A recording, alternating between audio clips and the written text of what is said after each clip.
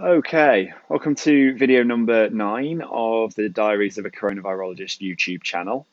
Today is the 31st of March, and we are up to 855,000 confirmed cases of COVID 19 and a little bit over 42,000 deaths.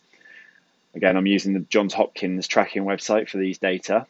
And today I want to point out as well that there have been about 178,000 recoveries as this is going to come up a little bit in tonight's topic. A couple of little bits of housekeeping before I get into the topic though. Hopefully, the sound quality is better today and in videos moving forward. I made my first investment to the YouTube channel and bought an app that should, in principle, allow me to use the AirPods to record the audio, which should be a lot better and remove some of the background noise coming from the freezer and the PCR machine and the things that are giving that uh, background fluff that people have been commenting about. The other bit of uh, housekeeping stuff, I mentioned in my previous video, video number eight, that we'd submitted our work to bioRxiv and we're waiting for it to come online. For a discussion of what bioRxiv is, I'd go back and check out that previous video. The paper came online on Friday, so I'll put a link to it down in the description of this video for anyone who wants to go and have a read. The work is detailing our studies with FDA approved drugs that seem to have broad spectrum anti coronavirus activity. So, drugs that are capable of inhibiting SARS 1, MERS, and SARS 2. And in that, we specifically followed up on chloroquine. So, again, I'd recommend a previous video I put up talking about FDA approved drugs and drug repurposing. Uh, and I obviously talked about chloroquine in that for, because of what we we're doing in the lab. But for tonight's topic, I want to talk about immunity and the chance of being reinfected if you've already had COVID 19, and talk about potential for convalescent sera, convalescent plasma therapy, because these things are all connected. So, as I may say a lot when talking about SARS 2 and COVID 19, it's still a little bit too early to say with any certainty about whether there is immunity developing in people who've been infected. This virus has only been around for a few months, need we remind ourselves. However, I can go into a bit more detail, of course. So, there's some early data coming out from studies in China that do look potentially promising.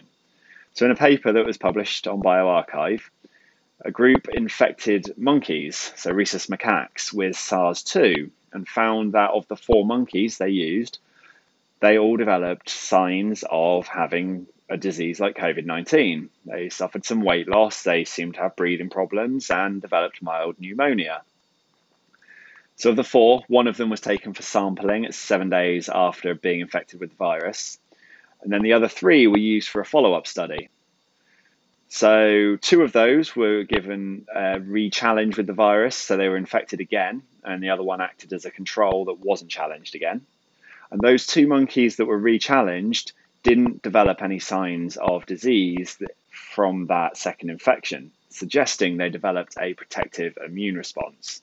So that's promising. So, what I can tell you with regards to humans and coronaviruses and immunity is that it does look like there are immune responses that develop and are protective. So, with the seasonal coronaviruses, it generally seems you develop about a year, maybe two years worth of immunity to those viruses if you're infected. Part of what plays into their seasonality may indeed be the fact that there is this waning immunity so that you become susceptible again when it's the winter months and the viruses are spreading well.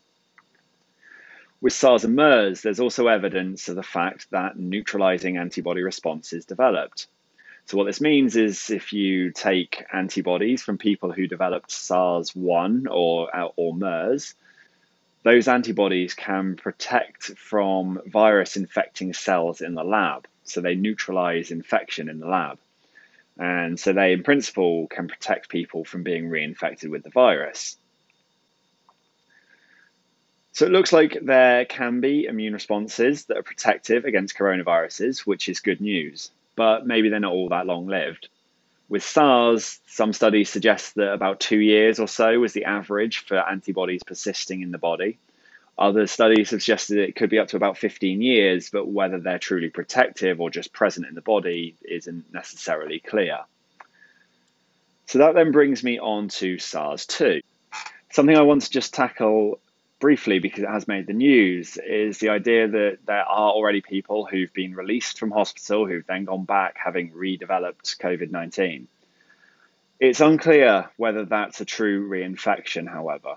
The tests are imperfect and there can be false negatives. So it's possible that someone tests negative because the virus was, for whatever reason, undetectable at the time, or the sample wasn't taken properly, or whatever it may have been, who then have a rebound in symptoms and need to be hospitalized again and test positive. So those cases don't necessarily mean that reinfection can happen for this virus, something that needs to be worked out. However, the fact that there is precedence for the other coronaviruses having protective responses is good, and potentially it's the same for SARS 2. Now, this has led to an idea of using convalescent patient plasma as a potential therapeutic. So, this is an old idea. Transferring blood from someone who's recovered from a disease to someone who's suffering it is a very old idea. It was done during the Ebola outbreak of 2014. It was done for SARS 1. It's been done for polio and chickenpox and various other things. So, for this, you have to get patients who recovered from SARS 2 and COVID 19 and have been symptom free for 14 days you take blood from them, just like a normal blood donation, and remove the red blood cells and keep the plasma. That plasma, in principle, will have antibodies. So you can then put those antibodies into someone suffering COVID 19 as a potential therapeutic in a way to inhibit the virus that is spreading within their body. And this is being trialed in New York City. There's a lot of cases in New York, and therefore it's a good opportunity to really work out if convalescent plasma is going to be protective for active COVID 19 patients. Now, while we may have about 178,000 recovered cases, there is a lack of plasma available from those people, and there are calls for more plasma to be donated thankfully or usefully maybe it seems uh, it is possible to use plasma from one patient that's recovered in multiple active patients. So about two to three people can receive plasma from someone who's recovered.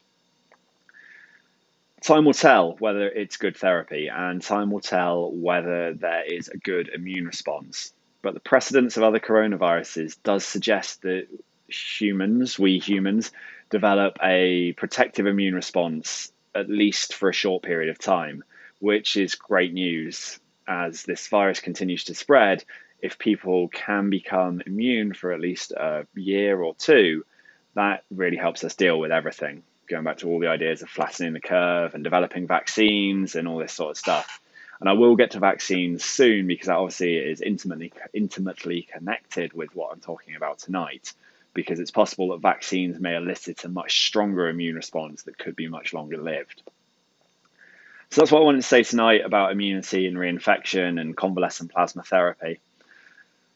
So, as always, please subscribe if you like these videos. Check out the ones I've posted before if this is your first one watching. I've kind of led on each one somewhat sequentially please keep posting questions and in the comments. I do look at them. If I'm not responding, it's because I'm busy in the lab, not because I'm ignoring them. So I do appreciate you commenting and giving feedback. And as always, please stay safe, wash your hands, stop panic buying toilet paper, and keep calm and carry on. We are going to get through this outbreak. Thanks for watching.